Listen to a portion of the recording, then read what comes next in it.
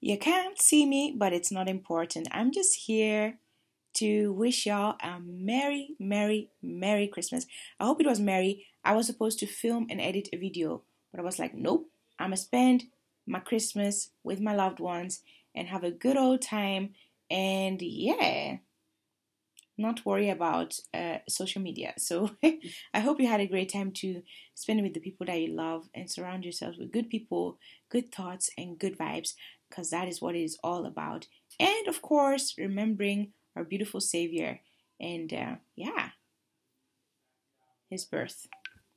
So yeah, um, I hope you all had a good time.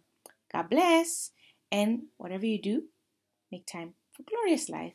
It's time to start what? Let me write. I'll see you tomorrow. Bye.